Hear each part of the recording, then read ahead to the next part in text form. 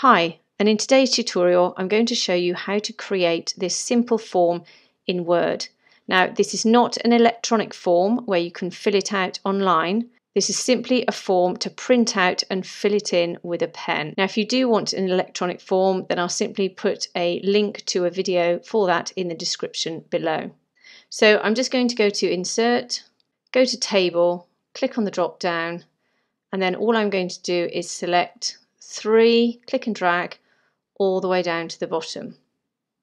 Now, if for whatever reason you don't have that facility on your computer, then just go to Insert, Table, go to Insert Table. You'll have a small dialog box, and in here you can insert the amount of columns and rows you wish to have. Now, once my cursor's up here in the top left, all I'm going to do is hit the Enter key and that means that I've got enough room to put a title across the top. I'm just going to press that one more time so I can use this space to put in my title. So I'm going to do that. So I'm going to do that now. So go to the Home tab. I'm going to go to the center text icon here to put my title in the middle. Then I'm just going to enter in my title. Then I'm going to highlight that text, click and drag. And then on the Home tab, I'm going to go to increase font size and then just click on that until it increases to the size I'm happy with. And then I'm just going to click underline. Now we're going to format this table and then we're going to take out all the lines, but we're going to have some guidelines in there so we can see what we're doing. So at the moment, my cell height or my column, uh, my row height is a bit narrow. So I'm just going to increase the size of those rows. So I'm going to select the whole of the table. You can do that by clicking on this top left square or you can simply click and drag across the whole table. Then if we go to layout at the top here and then go to height, I'm just going to highlight this number in here and press 1 for 1 centimetre and then press enter. And as you can see, my row height has increased. Now, whilst we're here, you can see that the shading is at the top of each of my rows. That means my text will be at the top. And I actually want my text to be on the middle left. So if I go over to this area here, you can select where you want your text to lie in your table. So I'm going to go to center left. There we go. And you can see that shading has now moved to the center of my rows.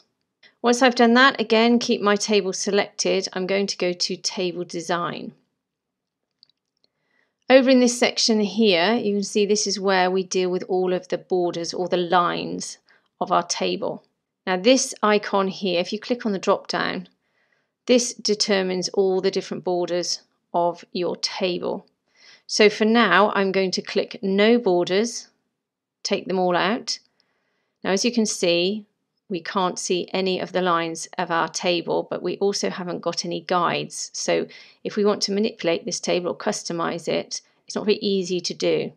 So go back up to borders and go down to view grid lines. Now these grid lines will not be printed, but they're just there as a guide so we can see the table. Now we will keep turning them on and off just so that we can see how our application form is going. So all we're going to do is we're going to merge cells and put borders around cells. So the way in which we can use this is because we can enter text in, it will all line up, we can choose which cells we want to put lines around and which cells we don't.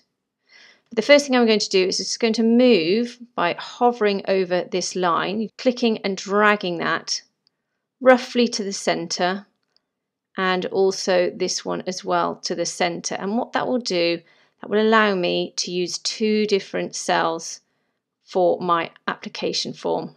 That'll become a little bit clearer in a bit. So in this top cell, I'm just going to type out full name. And then I'm going to merge these three cells here so that your user can use this whole area here to insert their name. And the way to do that is to go up to Layout and go to Merge Cells. Once we've merged those cells, I want to put a border around all of this cell. So go back to Table Design go to borders, and then once you've selected that cell, go to outside borders. And you can see a border has been put all the way around that cell. Again, I'm going to do the same with the next cell. Again, address. And for the address, I'm going to give my user a little bit more space. So I'm actually going to merge all of these cells together. So again, select them, go to layout, merge cells, go back to table design, go to borders. And because outside borders is already selected, you can just simply click and you don't have to go to the drop down. Again, merge this cell, layout, merge, table design, border. Now we've come to the end here and we obviously need a few more rows. So if I just click at the bottom right, press my tab key, you can see it's made an additional row. You can also see I've got a border here, but don't worry too much about that. It's a really easy fix at the end. So just keep going to the bottom right, press the tab key, and we can introduce the rest of the cells for the page. As we go down, eventually you'll click and this will happen. You'll produce an extra page. So I'm just going to go back one step, Command or Control Z. If you do need that extra row, then you can manipulate your margins. Go over to the rulers to the left. If you can't see rulers, go up to View and then go to rulers and make sure it's checked here. Click where it goes from white to grey at the bottom and then you can move this line up or down which will allow you a little bit more space on your page and you can add another row. So I'm just going to take these borders out of all of these new cells that we've introduced here. So select them all the way up to this one here. Go to table design, borders, no borders. There we go. Now this is where we can use this split in the middle. I'm going to ask for an email address here and a telephone number here so click on this cell underneath it, go to borders, outside borders, borders, and just click. Now we're just going to check how this table is looking. So select your table, click in the top left, go to borders, view grid lines, turn off the grid lines, and you can see how your form or your table is looking. Again, select the table, borders, view grid lines. Next one. Again, select all of these, layout, merge cells, and then table design, and put your border in. Now for this next one, I'm going to teach you how to add additional cells. So we're going to have a number of different boxes along here. So first of all, we're going to merge this cell. Go to Layout, Merge, and then we're going to split this cell, and I'm going to split this cell into five. So it says number of columns. So I'm going to select five and press Enter. Then I'm going to put borders on all of these boxes. So up to Table Design, go to Borders, but this time select all borders. And then also put the borders in the middle here. Then insert my text. And to make sure all of these are in the middle of the cell, select them all, go to layout and then center. Now we're going to do a yes, no answer.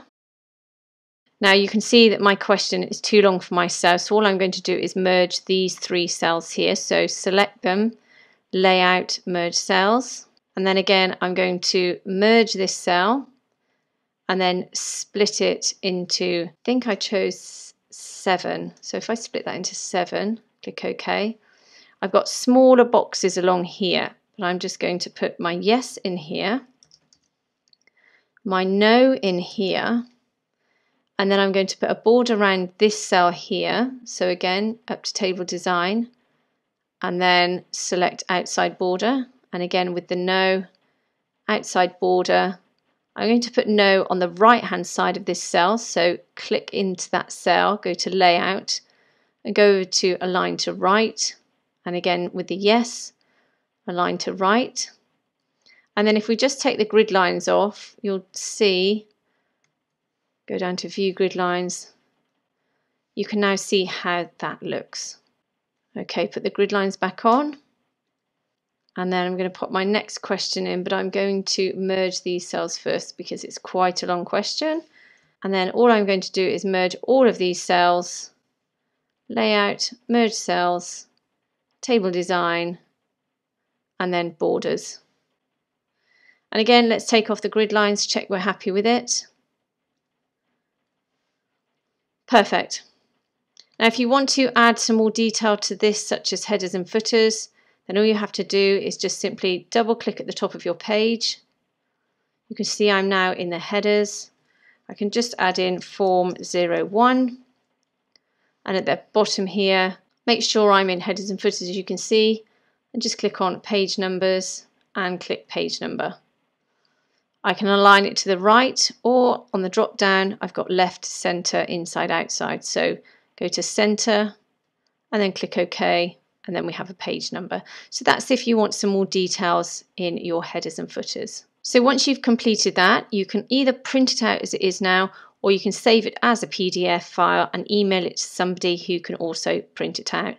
If you want to save it as a PDF file, then just go to File, Save As, Name it whatever you like, and then simply go to File Format, click on the drop down and select PDF.